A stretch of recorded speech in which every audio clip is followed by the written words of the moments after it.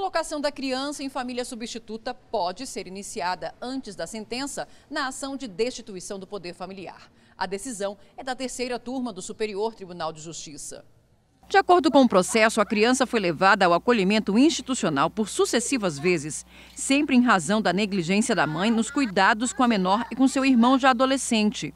Após anos em abrigamento, a equipe técnica do Tribunal de Justiça de São Paulo apresentou um relatório em que descreveu a ausência de interação significativa entre a genitora e a criança, inclusive com episódios de desaparecimento da mãe por algum tempo. Em razão desse cenário, o juízo da infância suspendeu as visitas maternas e autorizou as buscas por família substituta, determinações mantidas pelo Tribunal de Justiça de São Paulo. No pedido de habeas corpus, a Defensoria Pública do Estado sustentou, entre outras coisas, que de forma arbitrária o direito de visitas da mãe foi suspenso e que a colocação da criança em família substituta só poderia ser admitida após esgotadas as possibilidades de reintegração dela ao convívio familiar.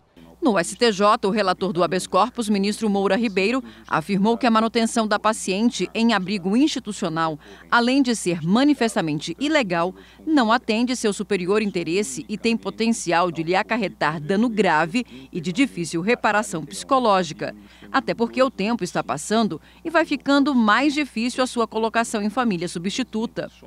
Ao rejeitar o HC, a terceira turma entendeu que a ausência de sentença em ação de destituição do poder familiar, ainda em trâmite, não impede que seja iniciada a colocação da criança em família substituta, conforme os procedimentos preparatórios previstos no Estatuto da Criança e do Adolescente e nos princípios fundamentais de proteção às crianças e aos adolescentes. Apesar de não conhecer do habeas corpus, a terceira turma determinou aos juízos competentes a máxima urgência na conclusão dos processos relativos à situação da criança.